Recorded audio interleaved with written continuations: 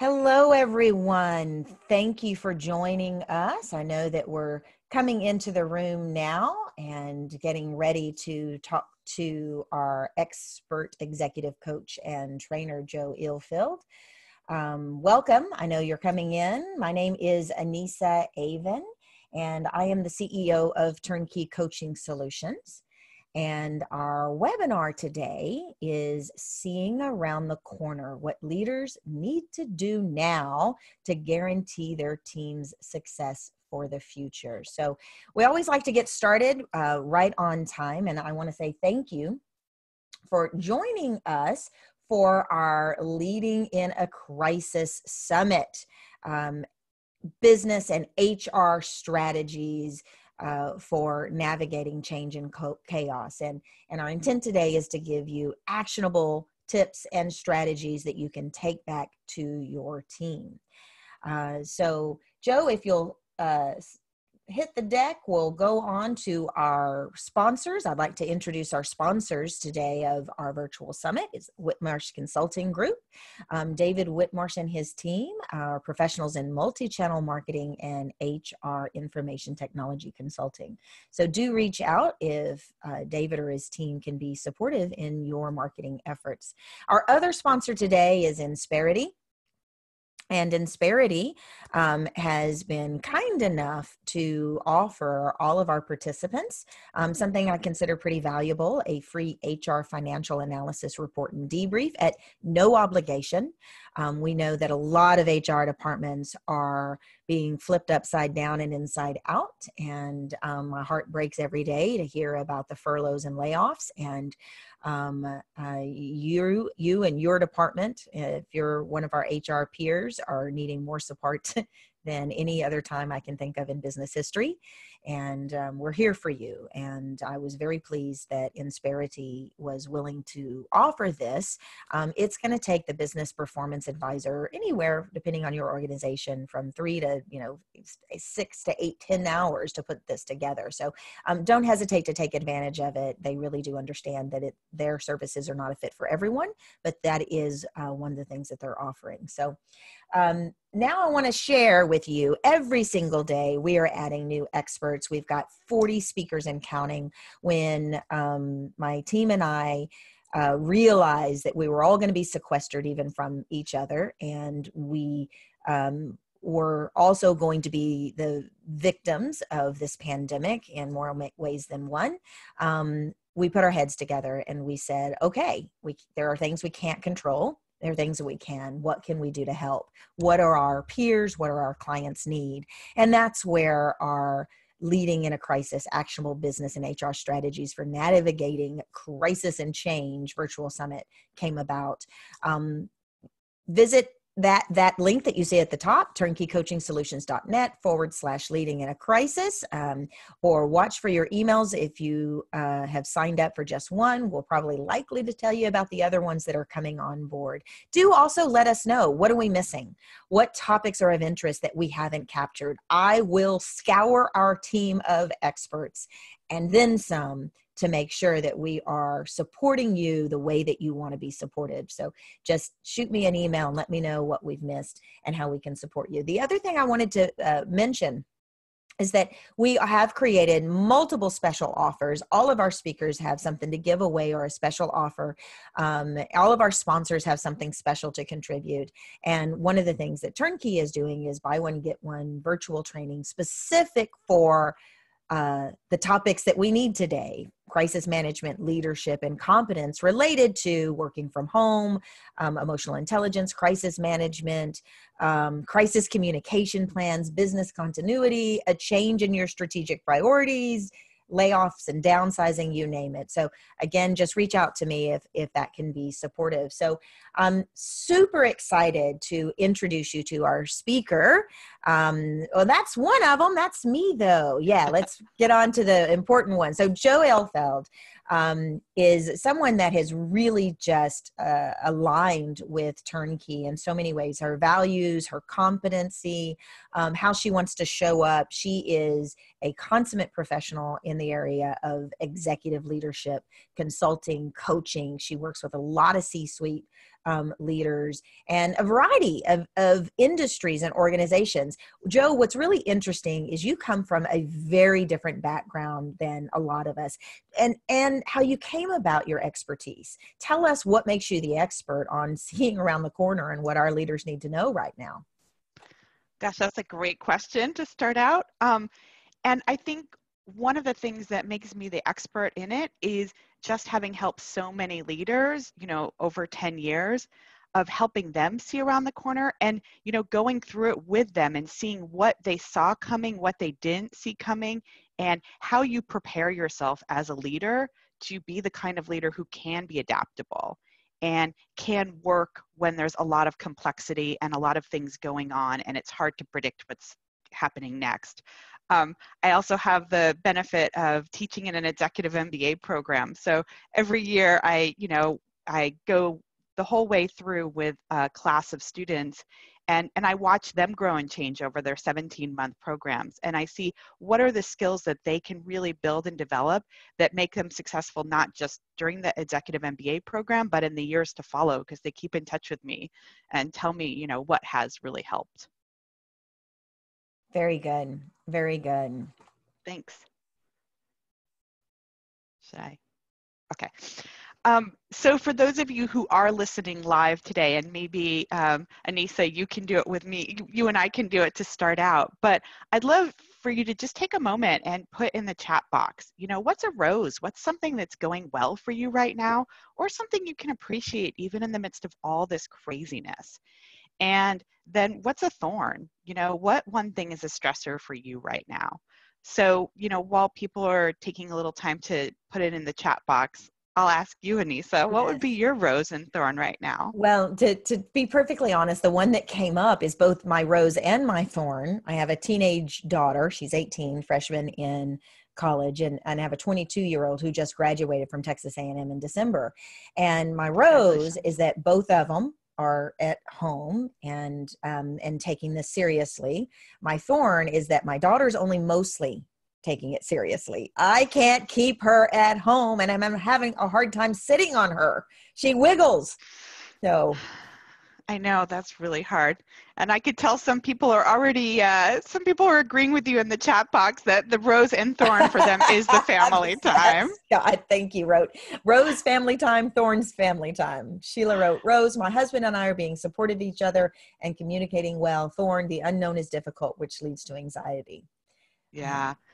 For me, I will say my rose is that my son actually, I have an 18 year old now too. He turned 18 yesterday and it was just a really special time to celebrate. I mean, it was just our close, immediate family, but we zoomed in the rest of the family.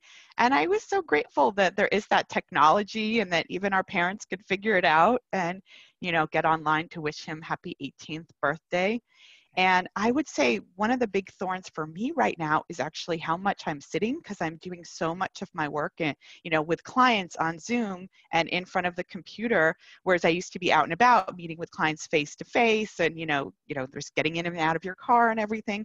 And so I'm realizing I have to do a lot more to take care of my back which probably I'm guessing a lot of people listening to this are also sort of dealing with like, do I have a good chair at home to work in? And, you know, how is my back dealing with hours and hours of Zoom meetings?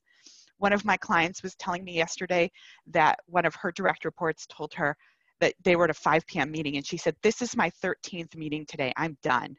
And my client was like, It's fine, let's get off but like i think you know that is the reality for people and something you know if we're seeing around the corner something we're all going to be dealing with i see some more coming in i don't know if you oh had time gosh, to read them while so i was chatting many. Um, i want to read one in particular because i really think that it exemplifies what so many of our peers are have experiencing. Um, Angela wrote, Thorn, I'm the only adult working at home with three kids, 11, 8, and 4, and a founder of a new company. 18 months. I just want to cry even hearing about it. As my partner has to be in lockdown in his office, he owns an accounting firm for restaurants, meaning we just both don't have the luxury of two hands on deck.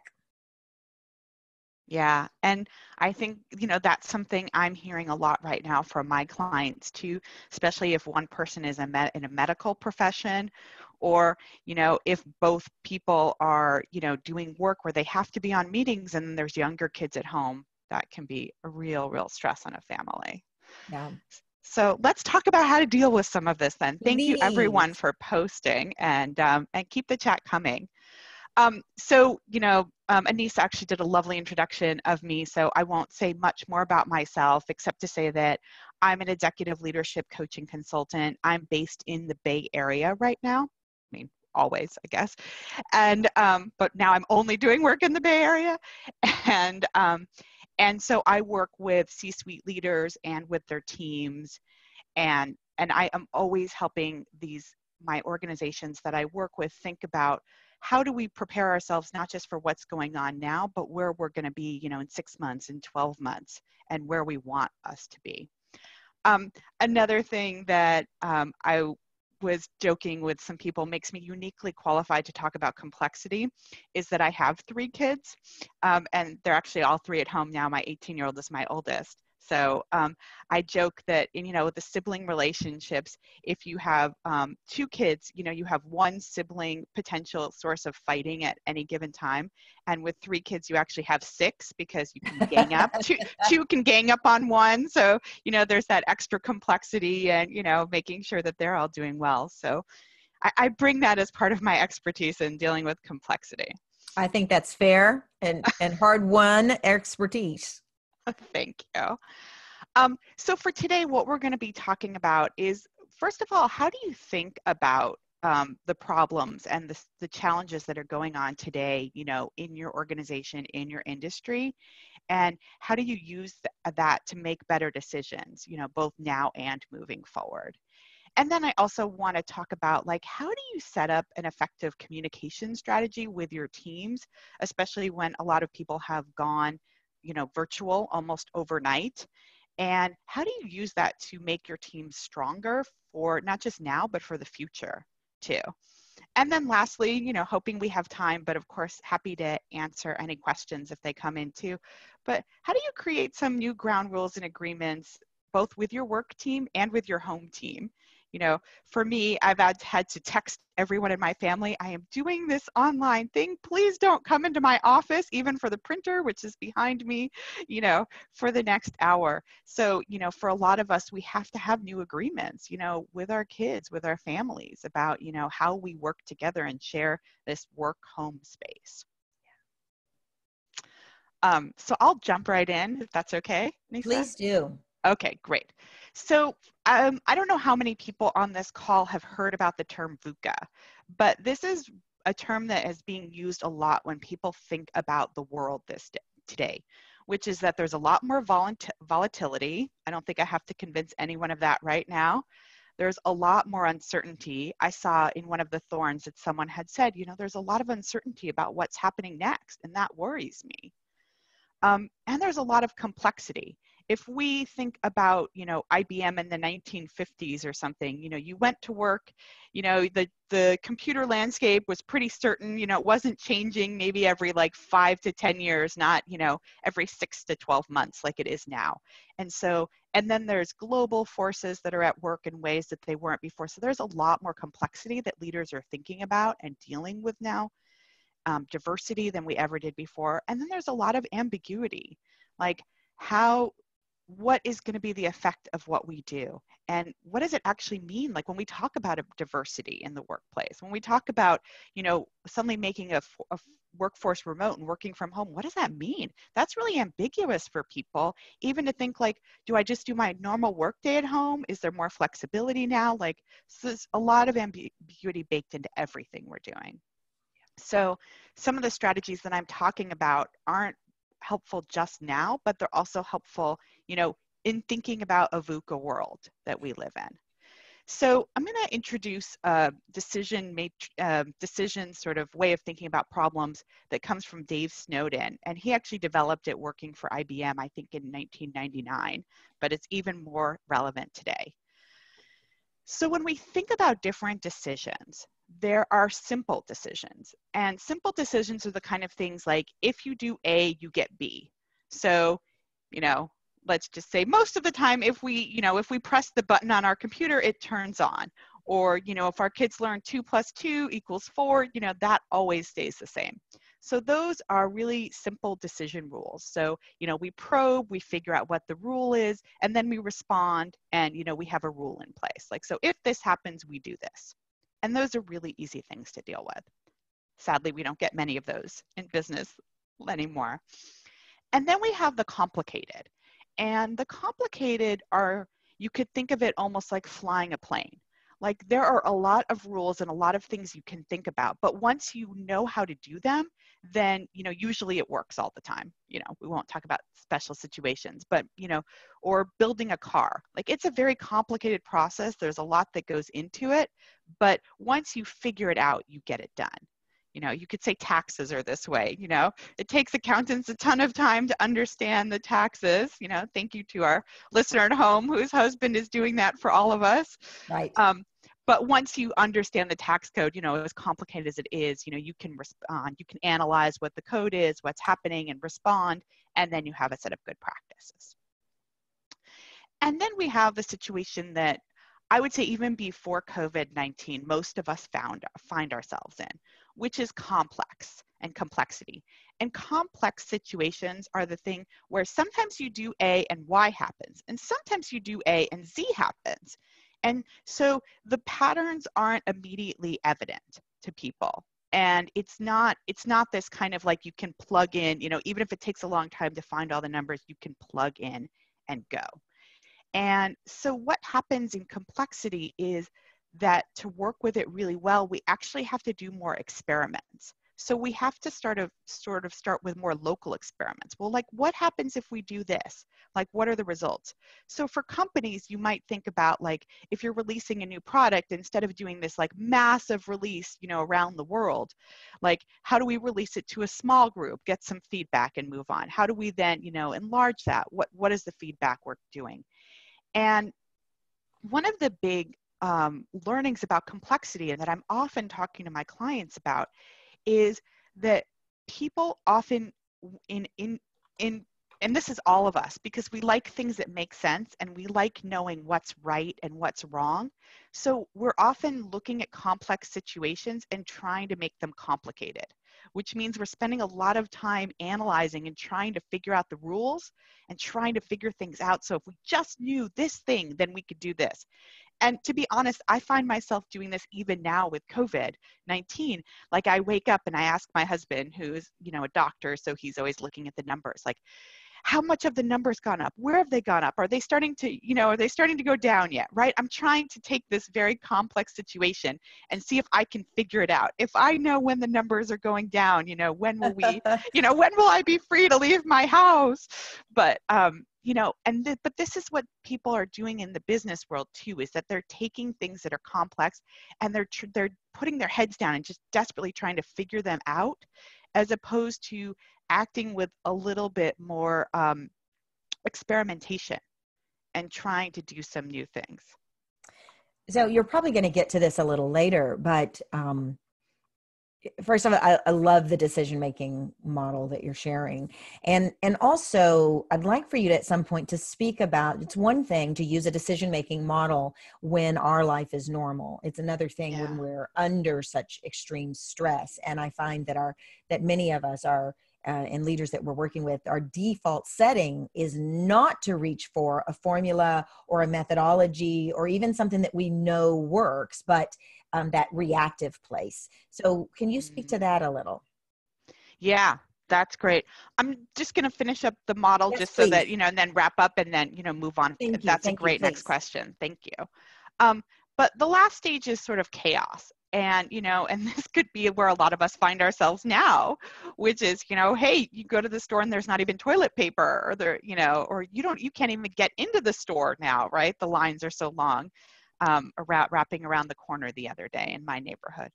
So, um, and when you're in situations of chaos, then really the best practice is to act because you want to do something and then see what, you know, see if you can find some stability and then go from there but when you're in a chaos chaotic situation you're wanting to act and do something.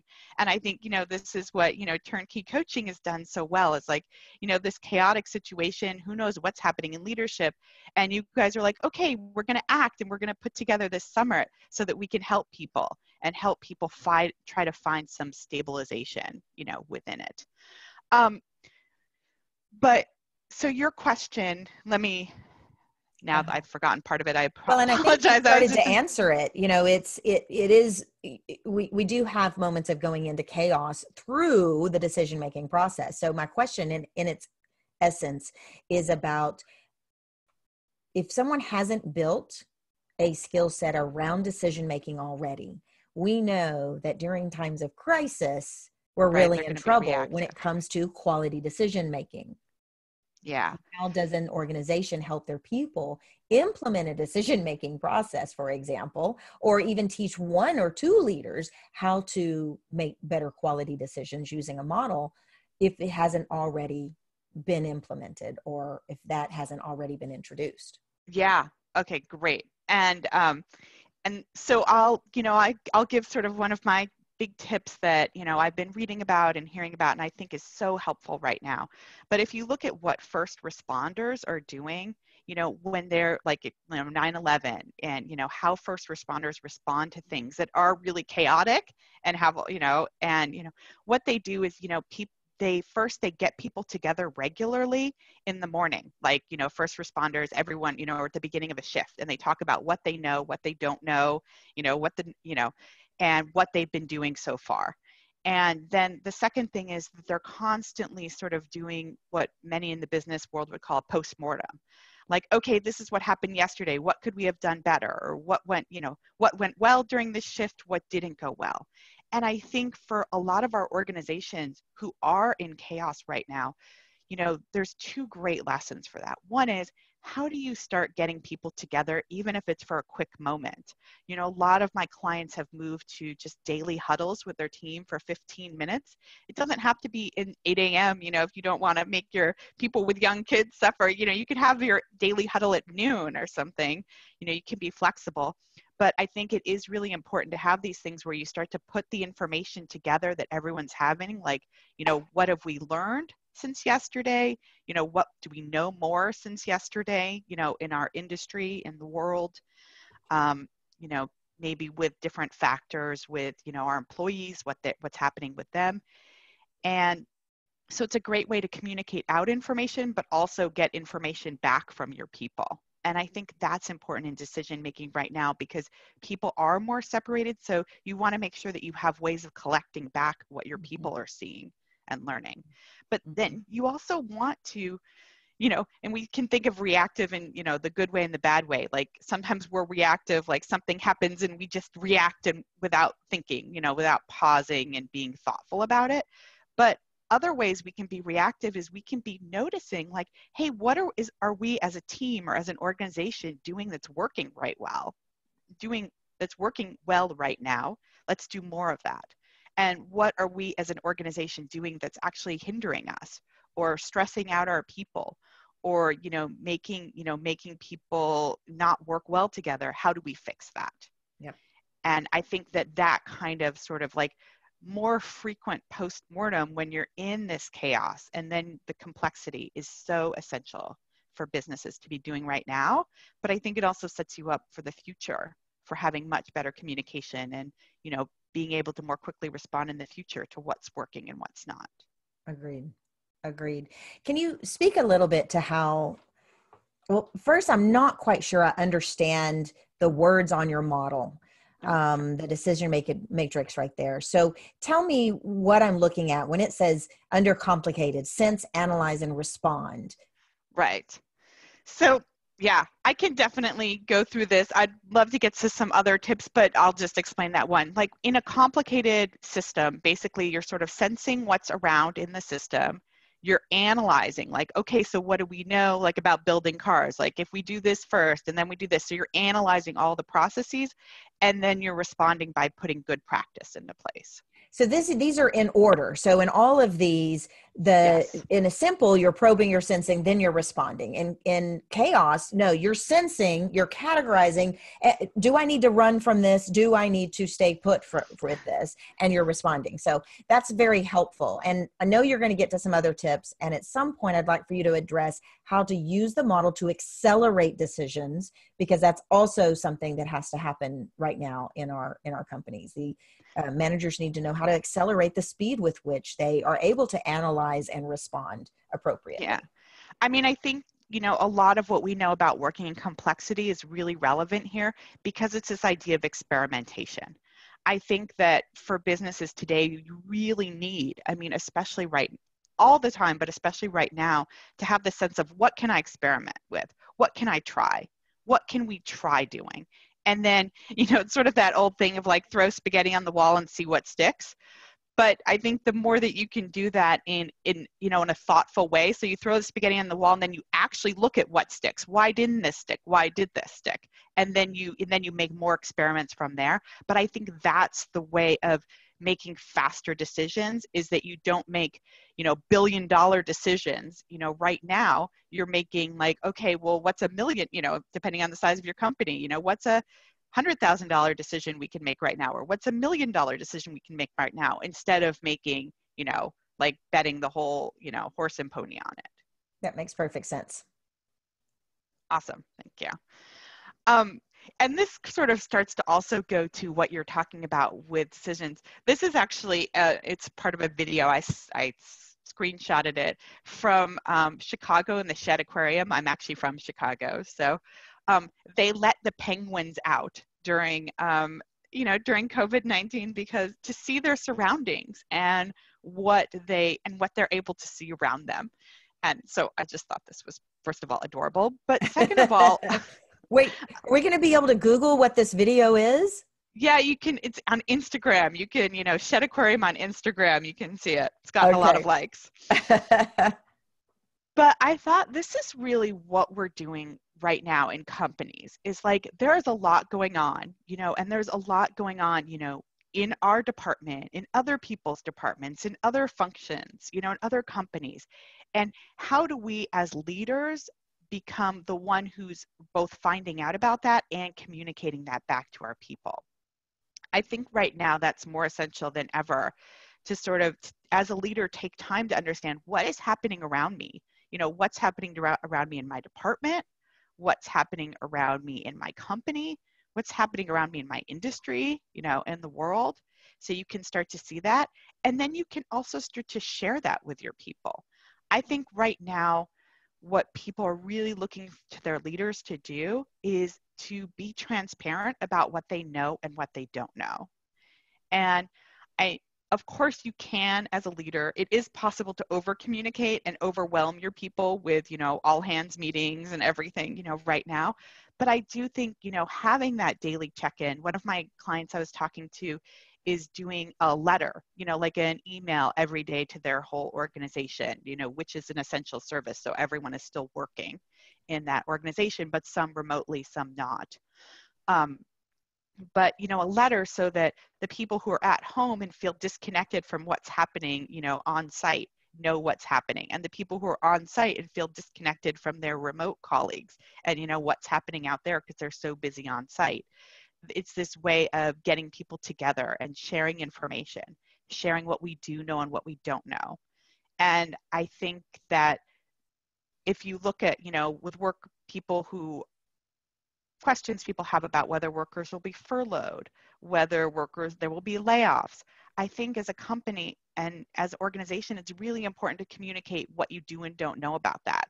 You're not making promises to people, but you're saying like, at this point, we're not planning on laying off people. Or at this point, you know, I have one organization, they have had to furlough all, you know, a lot of their workers. And they said, you know, we're furloughing you right now. And then this is our plan to bring you back, you know, assuming that you know things happen in may so i mean of course things might not happen in may and then they know they'll have to go back and revise that but i think that is one of the big things that gets people loyal to you and has your team build trust even during this time is to know that is to not allow that water cooler conversation to happen which might be happening via skype chat and you know slack channels now rather than you know rather than by the office water cooler.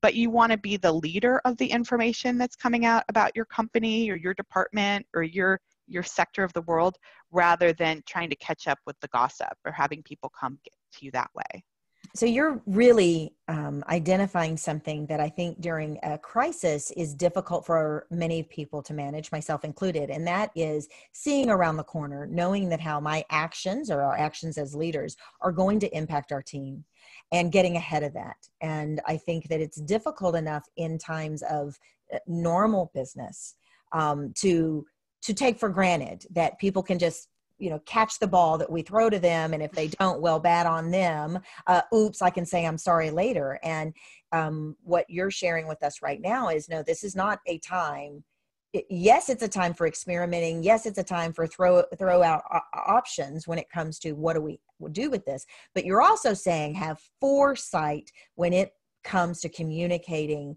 your plans and engaging your employees in the decisions. Yeah I think that's exactly right. And um, I think that you know similar to what i said before about how you you know do that post mortem you know how you learn from your employees too it, it's a you're you really want to create two-way communication streets. So you want to be communicating out you know what you think is happening what you think the priorities are what you think the you know what you think your people should be focusing on. But you also want to hear back from them you know one of my clients was actually telling me um, yesterday we were talking and she told me that one of her employees they were going to cut this project i mean it wouldn't have affected this employee's um, you know workload or job or anything but they were just going to cut some part of a project she was working on. And she actually made the case no you shouldn't cut this project and this is why. And you know and my client you know took it right back up to the ceo and the executive team and they said yeah you're right that's actually a good idea. So here she was able to learn from her employees and you know and get that perspective of like no this is why this project shouldn't be cut and this is why this could be you know is a crucial project for us because oftentimes you know the exec team is making decisions without all the information. We all are right now but then allowing that information to come back to us and being willing to change and experiment you know with something new is i think so crucial right now. And that's a, very fair statement that um, foresight does depend also on that two-way communication. We have a an associate who is working for a company who um, she it's a manufacturing company and they get many of their parts from china. And so they knew months ago they knew months ago what was happening there and they could have made a crisis management plan way back when. And um, she actually brought this to her boss who said we're not going to do anything in response to this corona thing. It's not going to hit us like that. I don't i'm not going to make my marketing plan based on that which at the time you know everyone said well okay. And now the company has laid off about mm, 80 90% of their employees and I, it, I they don't know what they're going to do because it was it that for them That's it's going to last a lot longer. It's horrid, it's heartbreaking. Horrid. and i'm sharing that because it we cannot what you're sharing about two-way communications cannot go understated. How do our HR professionals and our leaders actually ask for that two-way communication? How do they how do they be receptive to that and what's a a methodology to to to make that dialogue real for people? Yeah. No, I I think that's great. Um, you know, and I think there's questions, you know, that you can sort of ask your people. You know, like what are we doing? What are we doing that's going well, that's working right now? you know that we should keep doing you know the stop start continue you know what should we start doing that we haven't been doing that would be really effective and what's something we should stop doing that isn't effective right now um, you know one of my um, one of my c level clients has you know a very ambitious ceo who has you know very ambitious plans for the company. And you know they're in healthcare right now so they are swamped. Um, you know it's not a question of laying off people it's more a question of managing the deluge. Um, and you know and she says like we can't we we have to as a company figure out which part of the plans that we need to let go of because this is just not all happening right now. So i think what you start doing is just as important as what you stop doing right. and you know letting your employees say like these are you know these are what we're dealing with right now. This or the other question to ask is like where do you need support right now? Like what are the things that i can help you with? Or what are the things that i can find someone to help you with? Um, another one of my companies, you know, in healthcare was saying that, you know, the doctors who work for their organization were saying, What do you need me to do? I'll do anything. Just let me know how you need help. And she said, I've never seen them do that before. You know, I've never seen people just so willing to step outside, you know, their comfort zone or their their lane and just be really helpful. And I think that in some ways is the beautiful thing we're seeing all around the country around the world is people who are stepping outside themselves and really being of use. And I think as leaders, we can't underestimate that there are some people who are just literally sitting at home, they're alone, they have nothing else, and they want to be of service, they want to be of help. And we have other people who have three kids running around under the age of six, and they might need more of that help right now. And that's just where we are, you know? Yeah. Excellent. That's that's really helpful. Um, I want to mention that um, tomorrow about this talk about two-way listening. Um, tomorrow we actually have an expert on um, a pretty advanced artificial intelligence related to listening to your employees. Wow. Um, it's actually the CEO of Weave.ai, uh, and he's speaking on crisis communication and employee feedback, how to create the rally effect your company needs, and that's tomorrow at 11:30. Um, but that is as you were speaking, I'm thinking, in the middle of a crisis, how do we also make time for that two way dialogue when we're also trying to make big decisions on what do we do? How do we do this? Uh, you know, if you're in healthcare, there's not even time to make decisions. It's time to just simply, this isn't about planning, it's about responding. Um, if you're in manufacturing, it's about, okay, what do we do now? So, um, can you speak a little bit about that. The the the a system you this is about systems in this case. We know we need to communicate. We know we need to listen. But what's a good system ar- around getting that feedback that doesn't overtax an already taxed hr department or leadership team? That's a great question and I wish there was like a one size fits all answer to this. Obviously, there's not. You know, if you are a company of, you know, like less than 100 employees, it's going to be very different to get feedback, uh, you know, throughout your company than it is if you're a company, you know, with 100,000 employees globally. I mean, that's really going to change. Um, but I think but part of it i think is you know and this goes back to once again the um, you know how you deal with things in complexity is i think making experiments. So maybe one way you make an experiment is you say hey email this if you're seeing you know email this you know helpline if you're seeing one thing. And then if you get like 10 things that are really great you're like oh that worked. If you get like 50,000 responses and you're like we can't go through this. Okay we need to think of something else you know? Like you know so I think part of it is an experimentation depending on where your organization is at. And like, can you fit everyone on a Zoom call, you know, where you can see faces? If that, you know, if that's the case, then, you know, you can do a great Q&A and hear a lot about what's bubbling up for your employees. You know, just take an hour of time and do that. If that's not your situation and you're much more a global thing, like I saw, um, I saw on YouTube, I think the CEO of Marriott posted you know something really lovely about how they were trying to take care of their employees and you know what they were doing to do that and you know how they were you know as an organization taking leadership to help their employees. So yeah you you might be sort of resorting to video you know maybe not youtube but some kind of videos and getting comments and looking at the comments. I mean you do have to be flexible in terms of how you do this um, but i think being willing to try certain things and making it clear to people that you do care about having a two-way conversation that it isn't just a one-way conversation. I do think goes a long way.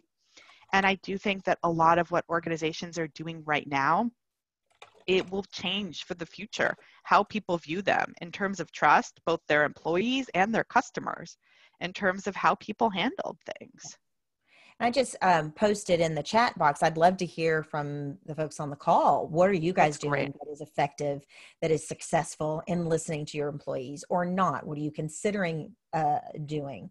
Um, yeah, maybe even post or have has your has your organization been listening to its employees so far? Like that'd be great, interesting uh. That, I would like to, to get some definitely some good feedback about that. You know, it's not necessarily a time for a big engagement survey. That's not going to work. No. Everyone stop what you're doing, you know. okay, so Scott says they're doing daily huddles, AM and PM. So that's excellent. Awesome. Um, asking employee daily check-ins, asking employees how they're doing and connecting with them. So these are great. Like you can see some organizations and teams, you know, they have it. Uh, you know, they, you know, sort of, it might be even a natural for them.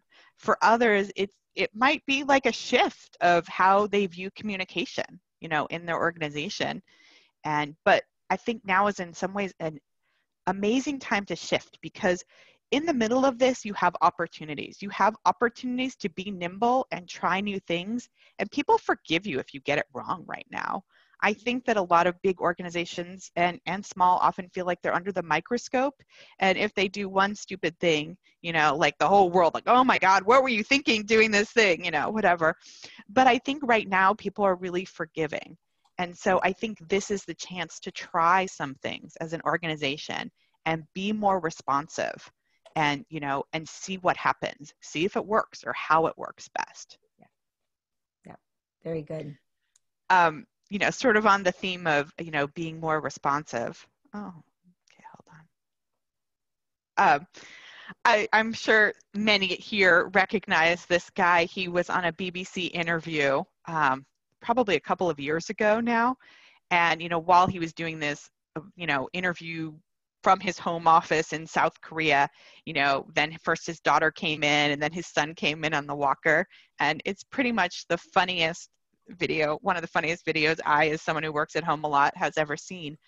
But I think this is the other thing to be that organizations need to be thinking about. And I call this, you know, I really think this is about how you're building your team now to be successful in the future because you are having some people who are working with these young people from home who might be coming in at any given moment and you know and you're working with other people who have kids who are in remote schools that they're on the phone lines that the zoom lines like in my household we can have five people on zoom at once like you know, luckily so far it has stayed during this. My boys are on spring break, so they don't have any class right now. So we have two down anyway. But, um, you know, I think that this is a really important time for companies also to take a lead in terms of how do we help employees manage work life balance? And how do we as a company become more flexible with the challenges that people do have in managing it? And um, I think that this is something that is always talked about and very rarely done anything anything is done about. And i think now more than ever this is a place where organizations can take the lead um, in their teams you know even if it's just a team leader and really understanding like what is happening for my, these different employees? Like what is the difference between bob and sue and diana and Deshawn, you know, like what are their circumstances like? And really understanding. I think so many of us have been sort of inculcated with this idea that's like work is work and home is home. And now all those boundaries are dissolving. But I think that means that it's really up to, you know, leaders in the workforce to help their employees set up systems that work for them. Yep. Um, so, you know, I just I'll throw out a few ideas, Anissa, if you have, you know, things you've heard about or people on the chat too. If there is anything your organization is doing really well or not doing well, like how are you dealing with sort of the dispersity difference in circumstances? You know, similarly, some people have aging parents who, you know, maybe they are delivering food to or trying to take care of. Maybe they're trying to do it all from afar and they can't go in. I have a lot of friends whose parents are in places now where the they've been locked in you know they so they can't even visit and provide that support so people at all are worrying about you know kids and parents and loved ones at yes. all ranges of the spectrum. Well and you know um, something that um, uh, jacques uh, i think it's jack's um, uh, sent in our chat room earlier really struck me as accurate. He, um, they wrote i'm concerned about potential intergenerations tensions and potential social unrest. And it hadn't even dawned on me i don't know why other than you know my imagination running wild in some areas but the social unrest piece and the intergenerational um, conflict. And you see the videos of folks um, going to to see their elderly parents or grandparents and having to wave and you know ki- blow kisses through the window. What um, how does someone how does an organization use a decision making model or decision making methodology to address some of that we know we're going to have conflict in these areas yeah that's great you know it's funny i I don't have an end all be all answer, but I can tell you some things I've been thinking about, you know, as I've been processing this with friends and with my clients. Like one thing I think is understanding when like what the time and place for exceptions are. You know, I was talking about this with um, you know, with one of my clients who is someone is, you know, a little bit more rigid and doesn't like, you know, doesn't believe there should be exceptions. And she's in a healthcare setting. So she is, you know, she and her team are all, you know, at work all the time, you know. And we were talking about is how do you make exceptions and how do you sort of um, bend the rules, so to speak, or maybe sort of throw out the rule book right now. And I think that is one thing that is important to this in decision making for companies to think about. Where can we throw out the rule book right now and where can we not? I mean, obviously, if you think about things like bullying or workplace harassment, like you can't throw the book out on that. You know, like that can't happen now, that can't happen ever. You know, so it's, I'm not saying you uh, want to throw the whole rule book out, but, you know, some organizations have really rigid time cards you know like you check in at a certain time you check out at a certain time. Like this might be a time when you think about that differently. Like this might be a time for especially with parents of young kids where you say okay we're fine if you work from 8 to you know 8 p.m to 12 p.m at night you know if that's how you make it work. Or you know i've heard a lot of dual uh, career families you know the husband will work and or you know once one parent will work in the morning one parent will work in the afternoon and you know and they'll switch off working with the kids you know who's with the kids. So you know changing you know whether people have to be at mandatory meetings you know if the mandatory meeting is at 10 a.m that might be a lot harder or if the you know. So just, you know, in recording meetings that you wouldn't usually record, that would be like another way where I think companies want to be really thoughtful about the human impact of their decisions right now because I think these will reverberate for a while. And I don't think you will get social unrest if people feel they're being seen as a human and as an individual rather than as just a number in the company. And I think that, I mean, I think honestly that's always important, but I think it's important, even more important right now because there is such differences. And even the best laid plans, you know, someone who has the best child care or whatever could have, you know, you know, I have a friend who has a, you know, a, she has a three year old and six year old and, you know, a full time nanny who happens to live in a very, you know, place where there's a lot of people who live together and she's just decided that's not safe anymore. So you could have you know you can have all these things set up when they're the quote unquote ideal circumstances but this isn't right now. So then how do you work with people in that new way? Um, how do you how do you help them with a friend of mine is working in schools and they in some schools they are giving families who don't have internet access mobile hotspots so that they can work without internet access. I'm guessing most employees have internet access, you know, in the companies, but it's that same idea. Like, how do we think about how we can help our employees work better right now, even if it means giving things that we wouldn't ordinarily ever think to give to them? Brilliant. Brilliant. Would you mind going go back to that decision maker matrix for a moment? Because a lot of what you're bringing up, and I know that we're about to wrap up, but a lot of what you're bringing up is in the areas when we um, after we've responded to the crisis or an, an a uh, dire situation at hand social distancing get it done right? Um, lock down make that happen etc then you're looking at in this decision making model are is the goal to learn how to categorize what's in front of you pretty quickly so you can determine is this a, a, complex situation where i just you know need to respond? And and i think a lot of us do this naturally but how are people that are taking a decision making model like this and implementing it with their team finding it to be helpful? What what's the impact of that or not? Great question. I think the impact is that if you can start to work with your team to divide like what is you know what is simple? Like okay it's sort of simple that everyone has to work from home like you know x if we can if we have to close the office then why right. everyone works from home. Done. Okay.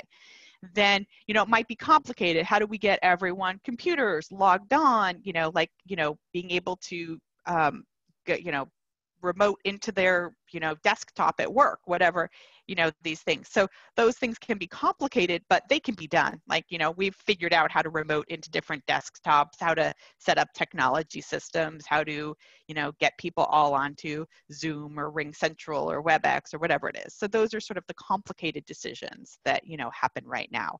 Or how do we you know how do we deal with these um, you know new new regulations that are coming in that we have to deal with now with you know covid-19 okay we figure out a system it might be complicated but then we figure it out that's done so i mm-hmm. think the first thing is you're going through and you're categorizing like what you need to do almost like if you took your to-do list of you know ha- things that need to happen right now in your workplace and you start figuring out like what are the simple things that we can deal with? What's more complicated that we need to you know we need to put someone on to research it and you know ex- analyze it and you know and then we can respond. Those, those are those categories.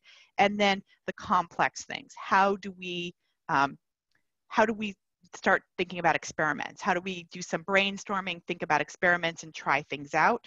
And then the chaos. Like where are the places right now that we just need to act to stabilize? Like where you know where are people's panic buttons going off so you know so hard that you know maybe the ceo says look everyone's getting 80% pay but we will pay you definitely through june.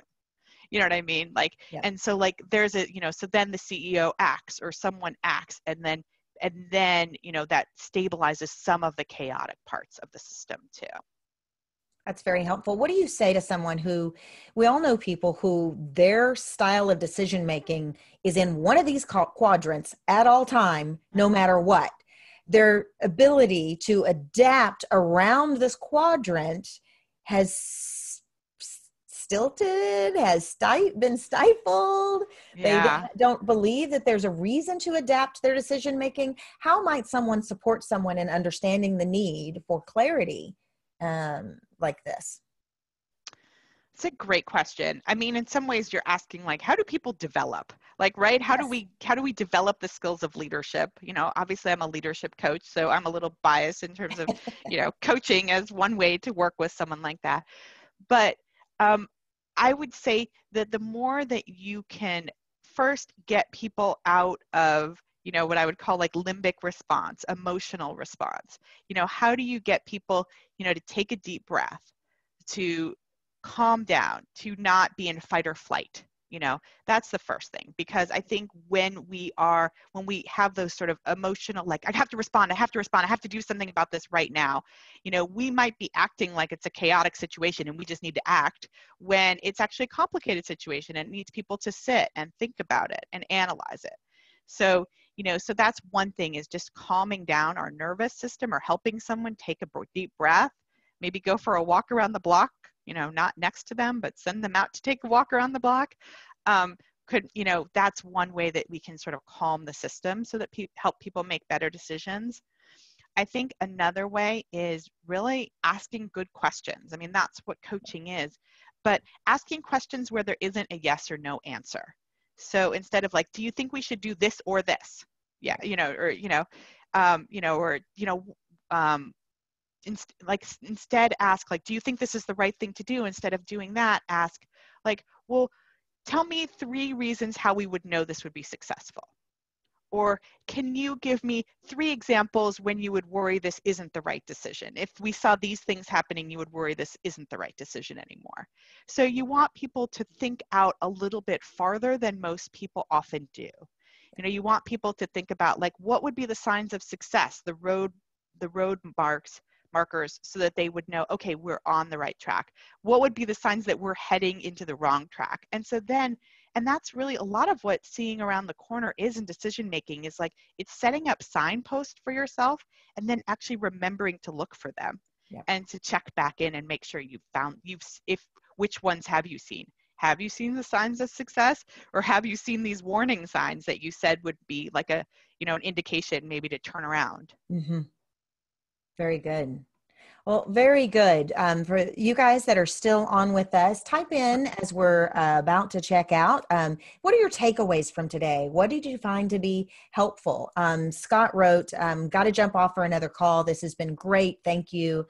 Um, I hope that we will have access to the recorded webinar, and you certainly will, Scott. So, um, uh, Jo, tell us a little bit about your special uh, that you're uh, doing for the folks that have attended, as well as how to get in touch with you.